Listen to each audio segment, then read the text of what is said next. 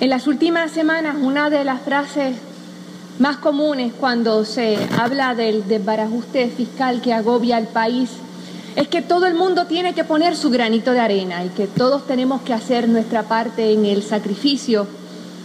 Y usualmente esa expresión va precedida de la letanía de que no es el momento de echar culpas, eh, invocación que usualmente proviene precisamente de los que sí tienen la culpa de lo que está pasando. Yo creo que sí hay que adjudicar culpa. Yo creo que es importante que el país reconozca quiénes son responsables de lo que está pasando, porque no es como que nos haya caído una maldición del cielo. Lo que está pasando es la única consecuencia de un sistema de dependencia que promueve la pobreza, la corrupción y la ineficiencia.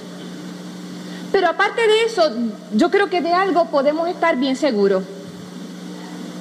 Y es que la culpa no la tienen los trabajadores y trabajadoras como los que hoy han venido aquí al Capitolio a exigir que se les escuche.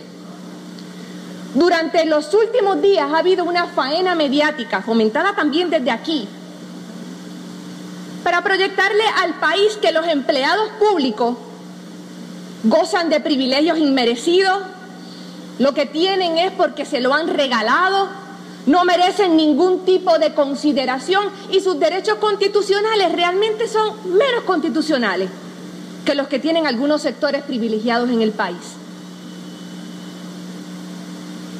Yo creo que eso es falso, que es injusto y que es profundamente deshonesto.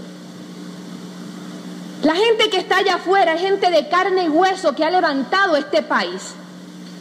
Y yo creo, caramba, que hay que pensarlo varias veces antes de decirle a la mujer que se encarga de procesar las aguas usadas en una planta de la AAA, que se gana la friolera de 9 dólares con 49 centavos la hora por manejar material altamente contaminado, un salario inferior al salario mínimo que está propuesto hay que pensarlo tres veces para decirle, caramba, es que las cosas están malas y tú tienes que poner más de tu parte. 9.49 antes de que se le deduzca seguro médico, contribuciones y todas las aportaciones compulsorias.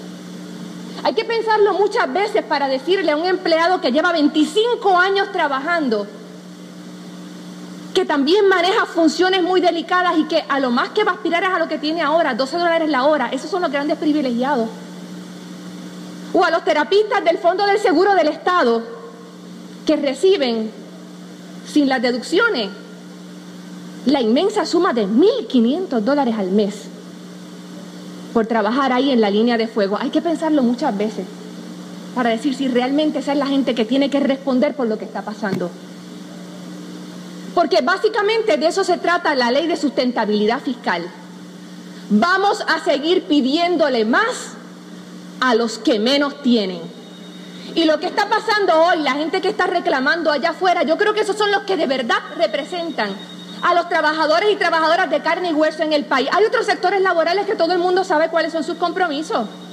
Los mismos que antes le habían suplicado al Partido Popular que por favor, en el 2006, por favor, para aliviar la crisis, impónganos el IBU, castíguennos con una contribución regresiva. Tristes están todavía porque ellos querían el 8% y solamente nos empobrecieron en el 7%. Pero esos no representan a los trabajadores del país, esos representan a sus sindicatos y sus cuotas. Los que están afuera, los que están diciendo basta ya, esos son los que de verdad quieren que se respeten los derechos que se han ganado con trabajo, con militancia, levantándose todos los días a darnos servicios a nosotros. Se está hablando de la posibilidad de conseguir los votos que faltan en la Cámara con unas enmiendas a la propuesta ley de sustentabilidad fiscal. Y yo quiero desde hoy alertar, sobre todo a los que todavía se están resistiendo a ceder al chantaje, mucho cuidado con las enmiendas engañosas que de eso hemos tenido ya además. En la medida en que esa ley conserve la cláusula que le concede al Ejecutivo la facultad de establecer mediante una simple orden que no pasa por el celazo legislativo las medidas fiscales que quiera y tratar a las corporaciones públicas como si fueran una agencia, en violación al principio mismo de lo que constituye una corporación pública, mientras esta siga ahí, no hay enmienda que valga.